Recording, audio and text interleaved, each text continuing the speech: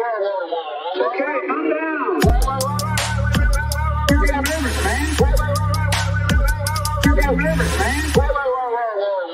Okay, calm down. Hello and welcome to the Katie Halper Show. So excited to be here with you. Today's show is going to be really important and really informative. We have a an amazing, amazing lineup of guests. First, I'm going to be talking to Miko Peled, the author of The General's Son. Then I'm going to be talking to Mohammed Hisam, who is an organizer, um, a Palestinian American organizer. And then we're going to be talking to Norman Finkelstein. So before we start, please do what you always do, hopefully, which is like the stream. It's really important for us to get this stream out there because I think the we can would all agree that these are going to be important perspectives that most places are not uh, streaming.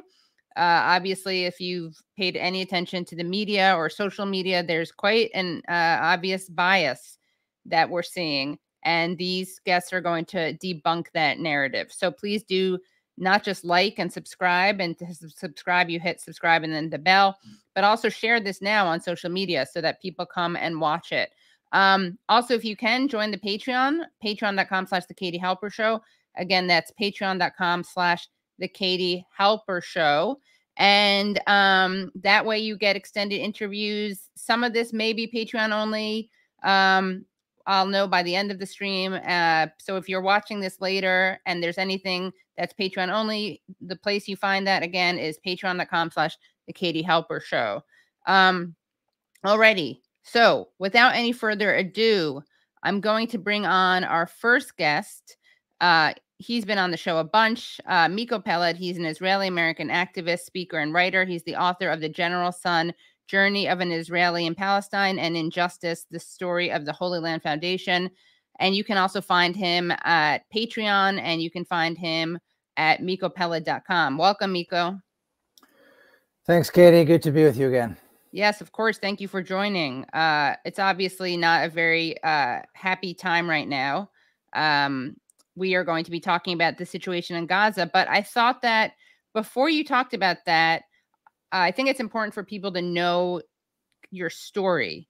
And could you just kind of give a brief overview of the family that you come from, your political trajectory, and the um, the hardships that your family has dealt with? Sure. Well, thanks for having me on the show again. Um, so I just want to say I just came from a really uh, wonderful event here in DC at Busboys and Poets, which was kind of an open mic where just people, not necessarily the usual people, but some people who are not the usual crowd came in and uh, came out and kind of spoke from the heart about what's happening, how they see it, what their thoughts are. And it was really very, very moving. So it's something that uh, I strongly recommend, just kind of a, you know, a place to get together and just talk as opposed to receive information or argue or express opinions just to kind of speak from the heart. It was very it was very helpful. It was very good. Um, well like you said I, I am you know i was born and raised in in uh, in a very zionist family in jerusalem. My family is still there. Maybe i'll pop back and forth. I mean i've had family in kibbutz be'eri which is one of the kibbutzim that was very heavily hit by the palestinian fighters um, what I heard, I was talking to my sister this morning, it's completely wiped out. And my cousin and her husband, um, who are in their 70s now, are were one of the last ones who somehow their home was not uh, hurt and they were only um, evacuated today. So they've been there seven, eight, nine, ten for three days, hiding in their home quietly trying to figure out how to you know play with the lock so nobody can unlock and come in. And as fighting was going on outside and um, another kibbutz where i have family kibbutz zikim also right in, just just on the border with gaza just north of gaza there's been fighting there and lots of other places in that area. So you know my family back there are everybody's terrified i have to say. Not only my family israelis are terrified. They've never seen anything like this before and you know it, it puts me and them once again in a in a difficult situation because my stance even though i come from this very zionist family with a father who was a general and so on and your grandfather you know, was a signatory to israeli independence. Right. My grandfather signed the general the uh Israeli um, Declaration of Independence. So he was an important Zionist uh, leader, and you know, my entire family come, you know, are part of that, you know, Zionist uh, leadership that's established and then ran the state for for first few decades. Um, but I, I I was saying today in this open mic thing, you know, I, I don't stand in solidarity with Palestinians. I don't support the Palestinian cause. I see myself as part of the struggle, as part of the cause. I'm not separate from it and expressing solidarity. And uh, when my family's over there going through this, people are afraid to leave the house. They don't know what's going on. The army's collapsed. The police has collapsed. The, the, everything they relied on, or they used to rely on, has collapsed. In other words, there's nobody protecting people and that's a very scary place to be and the children are afraid and you know and um, and here I am, you know, making these very bold statements in support of the Palestinians and the Palestinian resistance. So it put us all in a in a in a strange uh, or somewhat strained um, kind of situation. I did speak to my, like I said, I spoke to my sister this morning at length and kind of to learn where they're standing and what's going on, because the news we get here and even the news they get there is um, is is incomplete because nobody has the full picture. Israelis are, do not know what's going on. The Israeli government doesn't say anything. The military has, as far as anybody can see, fallen apart. It's mostly groups of guys who are reservists who just put on their uniform, grab a gun, and go with their buddies to fight somewhere, you know. And so they're in a very difficult position. And uh, like I said, here I am, you know, standing here with either a kufiyah or a Palestinian flag, speaking in support of the Palestinian or as part of the Palestinian struggle. Um, and you know, so this is one part of what my family is going through. And I was thinking today, you know, as you know, I have two young children. They're half of their grand, they have grandparents and uncles and aunts who are Palestinians, and they have grants, grandparents and aunts and uncles who are Israeli, and they never met. And it's not because they're in Gaza or the West Bank. They live an hour drive within, you know, on on on the main highway, but they never met, and it's likely that they never will at least not in the near future. So this is kind of a unique situation that I'm a unique position that I'm in, and eventually they're going to be in. And um, we had another, you know, unique experience, a tragedy when 1997, um, my sister's little girl was killed in a suicide bombing, and so that also put our family in this uh, strange, a very different space because we were a family that came from kind of very liberal Zionist, supporting the two-state solution. My father, after he retired, you know, pushed very hard for negotiations with with the Palestinians for the two-state solution, for Palestinian state, for Palestinian rights within that framework. He even met with Yasser Arafat. And so, and then suddenly, you know, his granddaughter was killed by Palestinians. I mean, boom. I mean, it just kind of shows you this this uh, very bizarre reality that exists there and how are you just kind of thrown into this reality regardless of you know you just happen to have been born to this to this reality. Um, so the strangeness uh, or the uniqueness i should say of of my situation my position in this in this story um, it comes to light every so often. There's something that brings it up to the surface and i have to stop for a minute and realize wow you know i haven't spoken to my family since the attack on october the 7th until this morning because it's a little bit strange, you know. Um, mm-hmm. so anyway, that's kind of the that's the background of of where I you know where, where, I come from and where I am today. And and the sister you spoke to is this the sister who had whose daughter was killed? No, I spoke to a my different sister. sister. I, have, I have two sisters. Yeah, I spoke okay. to another sister. And, and, on top of all this, you know, Qassam rockets are falling everywhere, as far north as Tel Aviv Airport, and my family's in Jerusalem, so that's further south. And in the north, the rockets are coming in from Lebanon now, pretty hard, pretty, you know, obviously pretty eh, with, with quite a bit of intensity. And so is people don't know where to go. And there's this sense now the the fence the, the the part of the fence that separates Gaza from the rest of the country has been you know torn. It was basically barbed wire, and it's still open. So the fighters are getting reinforcements, and they quite freely go back and forth apparently and nobody knows how many are in there how, how, many are around nobody knows if they've got if they're driving around freely on the highways if someone's going to show up in your neighborhood with you know if a you know a group of, of fighters is going to show up in your neighborhood and did what they didn't do and start shooting like they did in Sderot and Netivot and some of these other cities and some of the kibbutzim in the south. So the fear and the the the terror is real. I mean, people are feeling terrorized and are feeling very very scared. And on top of that, there's rumors of beheadings and rape, and because there are all these networks out there that are putting up out all the stuff. And according to what I understand, the only the only reliable source of information is coming out of Gaza somehow. Uh, because the Israeli government is not providing any information to the citizens, and the Israeli news are, you know, they what they see is what they can they can um, is what they can broadcast, and they don't see a lot. I mean, what they happen to see as they're driving down, or what they whatever you know bits of information they get in the studio. So Israelis have never been in a situation where every single agency that was supposed to protect them collapsed. I mean, all the redundancies that are supposed to have existed and prevented this collapsed very quickly. I mean, they were challenged and they were gone. I mean, you see the ease with which the Palestinian fighters came in. They with gliders and and on foot.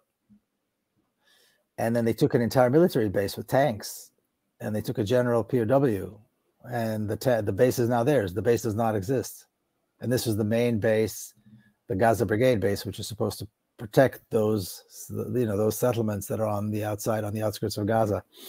So Israelis have never been in this in this situation where everything collapsed. They're always afraid of this. There's always this fear, you know, God forbid that you know we should, you know, we should put our guns down, or God forbid we should we wouldn't be, you know, as diligent as we should be. They will come and they will slaughter us all. You know, this is kind of this the uh, well when the they were tested and they were tested twice. I mean, they were tested exactly 50 years ago when the Egyptian and Syrian army attacked in 1973. It wasn't as bad as this. It's not like there were soldiers running around the streets and shooting in cities. And uh, the entire system collapsed. And now the entire system collapsed even more so. Um, I mean, there was no intelligence. And Israel is supposed to have this great intelligence system and all these units and all this information and all this, you know, cyber stuff and and and, and God knows what else. Uh, and human human information too. I mean, every other person is a collaborator. I mean, you can't talk, you can't sneeze yeah. in one part of Palestine without somebody talking about it five minutes later, in another part of Palestine. And this entire operation was planned, had to be months to plan something like this. The equipment had to be purchased or built.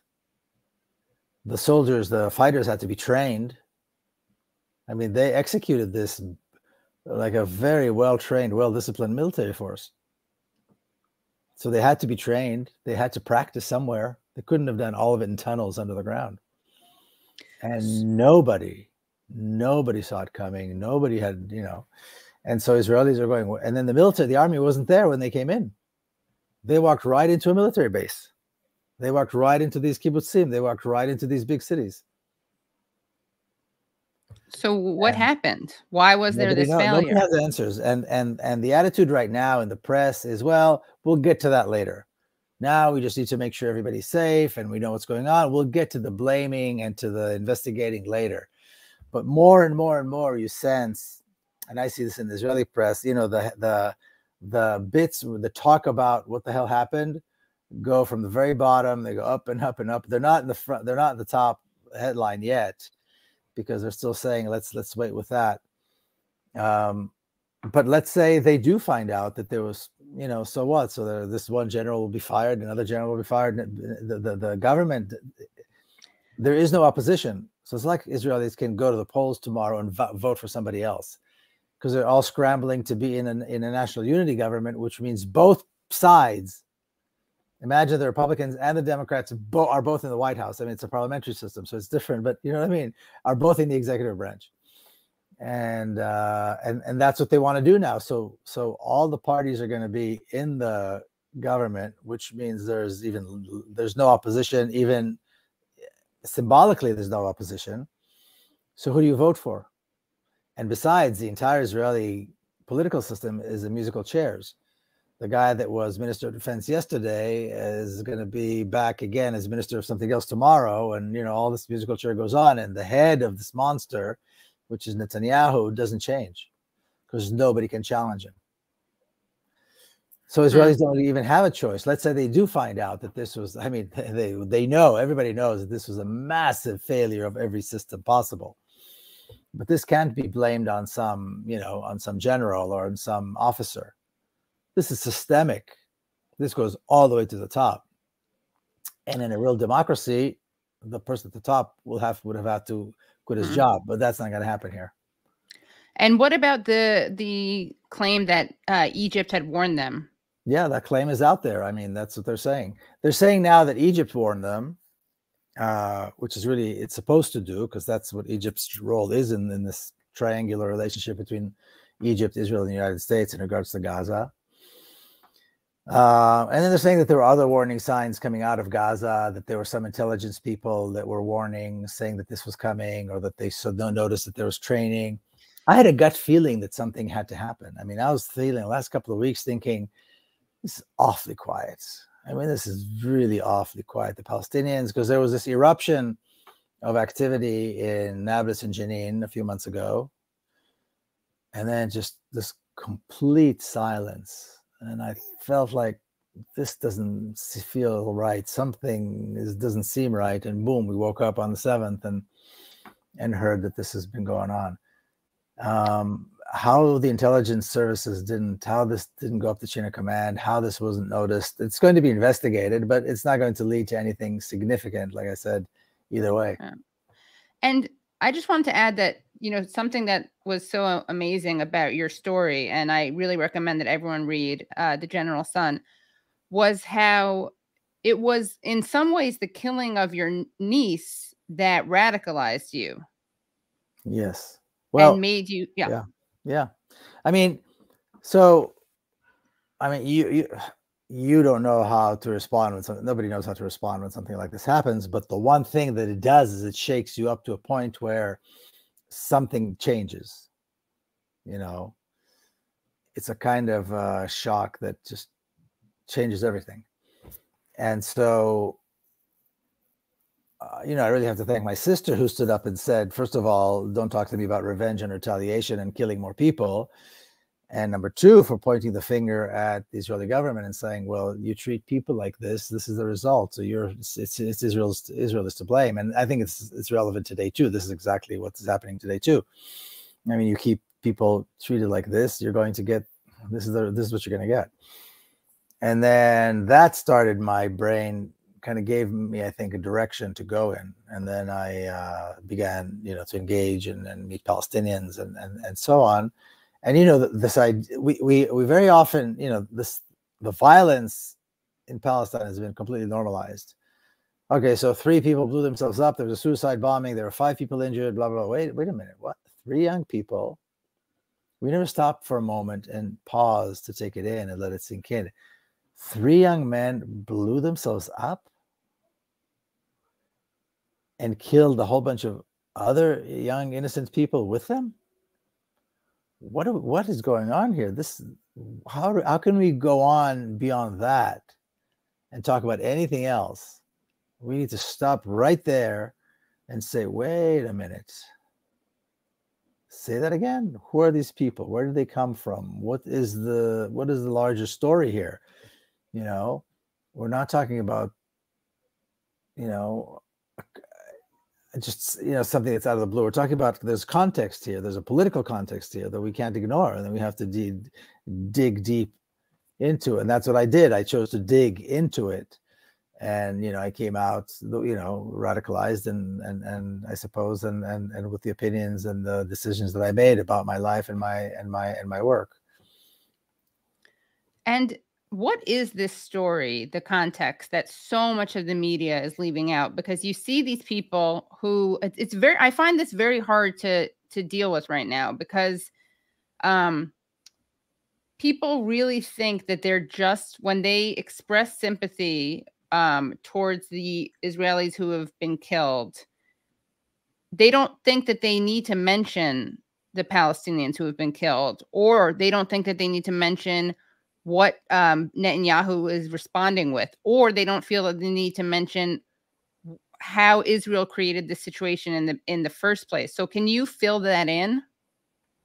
So Netanyahu on October 7th already he said we are at war with know, we are at war. Well, excuse me? Israel declared war on- on the Palestinians 75 years ago.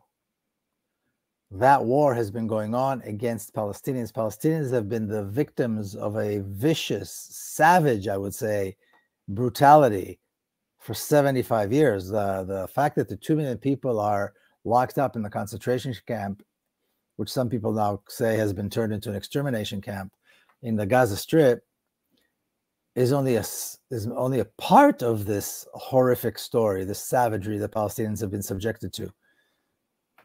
Palestinians have never had an army. They still don't have an army. What we saw is a is a small, you know, guerrilla group. It's not an army um, operating, and so Israel has been murdering civilians dispossessing people, torturing them, beating them, taking away their land, stealing from them, uh, stealing from their stealing their homes and their land and their resources, and their all and their and their trees and their money and on and on and on for 75 years. Israel declared this war 75 years ago. Netanyahu thinks the war started now. This has nothing to do with Hamas. These are Palestinian fighters from the Gaza Strip in an act of resistance. Now, I, I, don't think I'm saying anything that anybody would disagree with when I say that it's it breaks your heart when every when a person gets killed. Everybody has a mother and a father. It's horrifying. It's horrifying. Of course, it's horrifying when when somebody gets killed. But what they do is they take it out of context. You cannot take this out of context. What we saw Palestinian fighters doing, and again, we don't know the full picture because there is no there are- is no reliable news source yet that I've seen anyway uh, that gives the entire picture. How many were taken? How many were killed? How many were injured? In what under what circumstances, and so on. Um, It does look like the decapitated babies is unfounded, by the way. Oh, it's claim. unfounded. Yeah, it's Yeah. unfounded. And babies in, in chicken coops and cages. are Yeah. Unfounded. But I mean, it- the thing, and let's say, you know, what do you think happens when a one ton bomb is dropped on a building? You think babies aren't decapitated? You think people aren't suffocated in the gases that come out and the smoke The white phosphorus. and the white phosphorus and the buildings that fall on people that people get trapped and parts of their body gets i mean it goes on and on and on the horror you know what i mean? You want to get to the details of the horror? Fine let's get into the details of the horror. Let me describe to you what happens when you drop a one-ton bomb on a, on a, on a in a neighborhood in a residential neighborhood. How many children get you know? So that's not the issue. We need to see this in a political context. Now military you know military operations acts of you know actions have to lead to a political outcome. That's the point of what they, that's that's their objective. You know people are always you know get stuck on the military side of it on the on, on the armed side of it. But the more important issue here is the political accomplishments the political objective that is reached through the military goal. Now palestinians have been waiting for a peaceful resolution for decades. And their hands have been pushed slapped away. And they've been humiliated over and over again. Every time they reach out every time they try to they agree to some kind of a solution they get slapped in the face and humiliated. What just a couple of years ago we saw the march of return where where where people marched to the wall to the gates of gaza and the, what, did- what did they get? They got thousands of young Palestinians whose legs had to be amputated. There are over 2,000 young Palestinians whose legs have been amputated because of sniper fire that was directed against unarmed civilians who came to protest and say, you know, we, we want peace, we want freedom, we want to return to our homes and our land peacefully. So when something like this happens now, so they say, okay, fine, all this peaceful, uh, nonviolent stuff is great, but it's not working number one, and look at the look at the results. Look at his innocent, how many innocent civilians were killed. And this is only one example. The March of Return is one example. There's so many others. So now where at this- medics medics were targeted, Yes. uh, members of the press were targeted yes. by snipers who are very good at their jobs. This Yeah. wasn't an accident. Yeah, no, none of this was an accident. And there were no military. There was no military there. Everybody was a civilian. I mean, there is no, like I said, there's no such thing as a Palestinian military. There never has been. They're all civilians. Some are policemen, maybe. And now you've got this military operation that, you know, I was listening to this one retired Israeli general. He couldn't stop praising the military, the, the you know, what, what an incredible military operation the, the Palestinians put together and executed. He was on and on and on and on talking about how, what, and it was. And look what they've accomplished. They have completely disrupted the state of Israel. They have completely disrupted. From a military point of view, this operation was a massive success. Are people suffering? Yes. Are people dead? Yes. Are innocent people uh, hurt and injured and killed? Yes. But it's not the only thing that exists. There's a whole other story to it. There's 2 million people who are being murdered on a regular basis by the thousands on a regular basis. They don't have access to water or electricity or, or you know, a child with a, people with curable diseases dying because Israel won't give them access to hospitals that are, you know, a 20 minute drive from Gaza. So that's the whole story. So now look what they've done. A handful of well-trained fighters. Look what they did. They disrupted the entire country. Tel Aviv airport is chaos, complete chaos. Flights don't want to, you know, uh, the foreign airlines don't want to land because the the rockets are, are falling too close. Most of the Israeli airline pilots are also fighter pilots, so they've been they've been called in.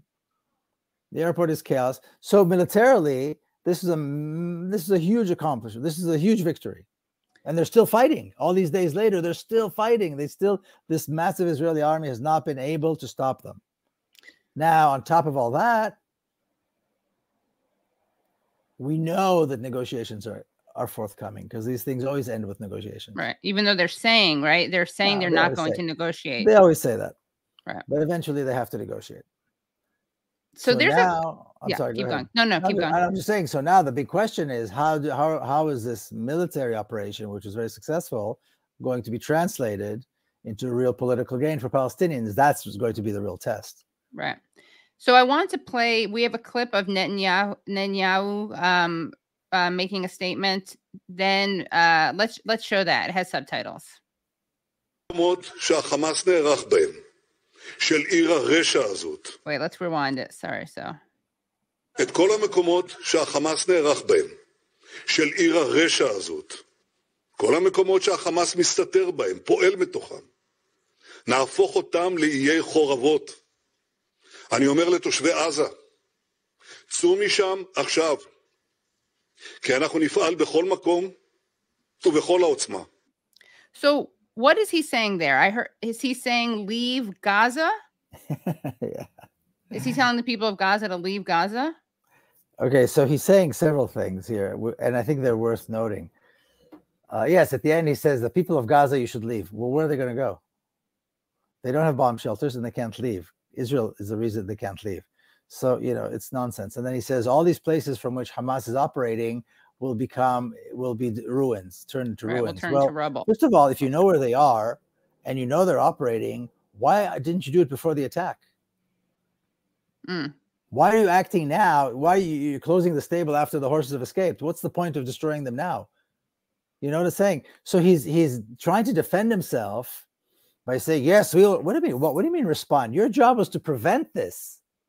Israeli citizens were expecting you to prevent this so this wouldn't happen to them. I'm not talking about justice, no justice, who's right, who's wrong now. I'm just talking from an Israeli citizen right. perspective. The job. Your yeah. job was to defend Israelis. You failed. Now you're going to bomb Gaza?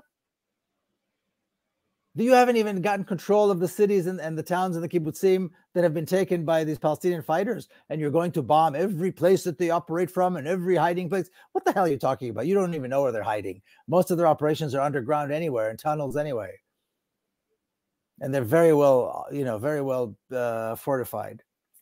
So that's what you do. I mean, you know, it's complete nonsense. And where are these people going to go?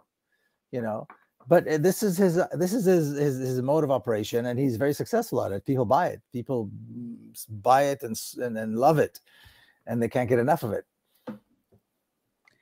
Yeah, someone uh, said that. Um, someone said to me uh, that they are uh, Hamas is not letting Palestinians leave into Israel, even though Israel is accepting them. That's complete nonsense. Yeah. How are they going to leave? How are they going to get there? They're going to walk with their children and their bags, and Israel's going to let them in. And where are they going to go in Israel to do what? Sit on the street, hitchhike? What exactly? Take a bus? what exactly are they going to do? You know, it's complete nonsense. Yeah. And the and you know the the gate the the fence is now broken. I mean, it's it was you know just barbed wire. It was easy easily, but it's you know it's a lot of it's miles to walk.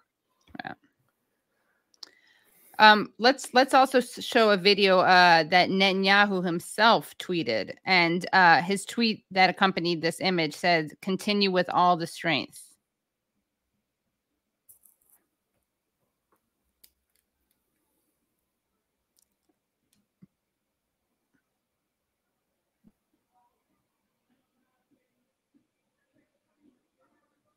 So there, he tweets out a building being bombed.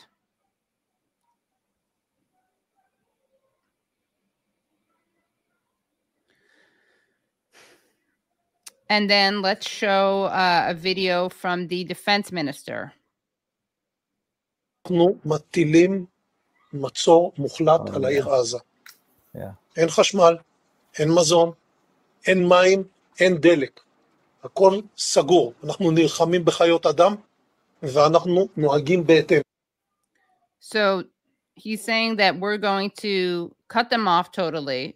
We are dealing with human animals and we'll act accordingly. And some people see this and say, yeah, but he's talking about Hamas, not the people of Gaza, except the punishment he's inflicting is collective. you know this whole idea that somehow Hamas is the problem is is you know it's it's it's a it's the it's the it's the terminology thing. You know they never say Gazans or Palestinians. They say they say the the Hamas the Hamas, and it's always uh, masculine singular the Hamas. This has got nothing to do with Hamas. I mean, you know, th- these are Palestinian fighters, and if they weren't Hamas, you think they wouldn't be fighting you know um so it's it's nonsense. It's it's you know it's tony soprano. It's a gangster who's been who's been injured humiliated and now is out there to get vengeance. That's really what we saw. That is the face of a gangster who was humiliated and just is just full of rage and wants to kill as many people as possible out of out of vengeance. And that's what he's doing and he's got the ability to do so. And look at his face. You can see by his face that he's just so angry and humiliated uh, that's that's really what it is, and that's how Israel is behaving. Israel is behaving like a mafia, like a like a bunch of gangsters. That's exactly what they are. They steal, they kill, they uh, blackmail, and that's how they survive in the world. Um, I thought we could watch Biden's response. Yeah. Um, all right. Well, thank you. Thanks a lot. Bye, Miko. Bye. Great. Bye. Okay, that was amazing. And I'm really excited to bring on our next guest.